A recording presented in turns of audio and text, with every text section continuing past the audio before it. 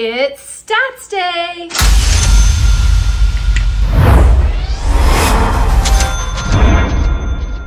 Hey everyone, it's Danielle Taylor with Keller Williams Realty here on the beautiful Outer Banks. And you know what day it is. It is my favorite day of the month. It is Stats Day. So um, just a reminder that all of this information is courtesy of the Outer Banks Association of Realtors, and this data is through August 31st, 2024. Just one other reminder, when we're tracking this data, we're doing it, the areas that we're looking at are all of Dare County, including um, also Corolla, all of Corolla, including four-wheel drive um, and it's for single family residential. So that's our baseline that we're looking at now. So let's dive in. First metric, median residential sales price. We've been watching this all year. It's defying logic, continues to defy logic. Um, year to date, we're sitting at about 719,000 as our median residential sale price, which is up about 9.8% from 2023. Okay, so it's still up. Um, interestingly though, the median um, list price. Remember, we don't know sold yet. List price for under contract property sits about 762. So 762 versus the 719 for sold. And our actives is at 820. Okay. So still that disconnect there a little bit for those actives and, and sold. So we'll watch how that goes. Um, the median sold to list ratio, so the sold price divided by the list price is about 97%. And I just want to make a note, and I'll probably do a video about this later, but you really have to look at how much this varies depending on how long the property's been on market because the days on market really makes a big difference. And so if we look at properties that have been sitting on the market for 90 days plus, we're looking at getting approximately 91% of their original asking price. Okay, so that's just something to think about. Um, and then of those people that have purchased that real estate, about 29% uh, paid cash. So that's pretty standard. We've, we've been seeing that all year. There's nothing new there. So price reductions year to date, about just under 36% of the sold properties have done a price reduction before doing so, okay, before selling. Um, and that's actually down slightly from almost 37% um, year to date in July. So that'll be an interesting met metric to watch.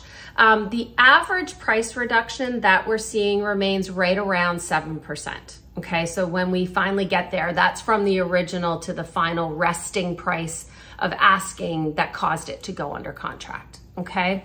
Um, when a price reduction has been done, typically what we're seeing is they're selling at an average of about 88% of the original and 95% of their asking versus that 97% of asking that we talked about earlier when they didn't do a price reduction. Okay, so when we miss it off the mark, we end up chasing the market down. And I'm really seeing, I, have got to stress this to my sellers, I'm really seeing buyer clients being price sensitive. Um, and it, it's just, a shift in mentality. So you really have to nail that price point. If you don't, you have to be open to talking about where we go from here. So I just, that's my, that's my soapbox uh, information from today. Um, anyway, 47% of the active properties that are on the market today um, have already done a price reduction. That's down a little bit from 48% last month, but almost half of them have done a price reduction if they're still sitting there, okay?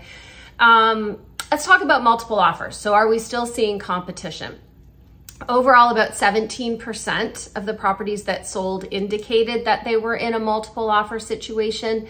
This is not a required field, just a reminder. So some people may have been in multiple offers and not disclosed it but overall, 17% of the solds have, have been in multiples versus 25% year to date in 2023. So less multiples, but not zero okay? And just the thing that I keep reminding everybody is just because you did a price reduction doesn't mean it's even going to go lower in the uh, uh final sale price because 12% of the properties that sold that had to do a price reduction before they found their buyer, 12% of those ended up getting into multiple offers eventually and the market dictated where the property sold at. So don't forget that when you nail the price, you're really gonna um, create the activity that you need to get the best possible price the market can bear.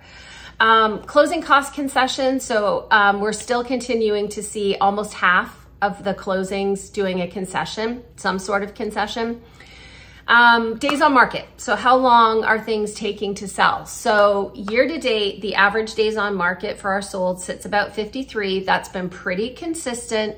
It was about 50 last year to date. Um, so about 6% slower, but still in that same range. For our under contracts, their average days on market is 60, and that's up substantially. At um, the end of July, we were sitting at 48. Um, so it's definitely we're seeing that translation now in things taking longer to sell. So when those under contracts go ahead and close, we're going to see that days on market continue to um, track up. Okay. Um, finally, for our active properties, those poor guys, we're sitting at an average of about 93 days on market. So, um, you know, when you miss the mark and you're sitting there, it's just taking more time. So that's where we're sitting um, as of the end of August. So next stats day will be super exciting. We'll be ending Q3, so we'll go over all of that. Um, but overall, I don't think any major changes from what we've been seeing throughout the year. Um, and inventory starting to go up. Prices are still holding, things taking longer to sell, more price reductions. I mean, that's the whole thing. Anyway, don't forget to subscribe and um, reach out if you have any specific questions. We'd love to hear from you. Hope you have a great day.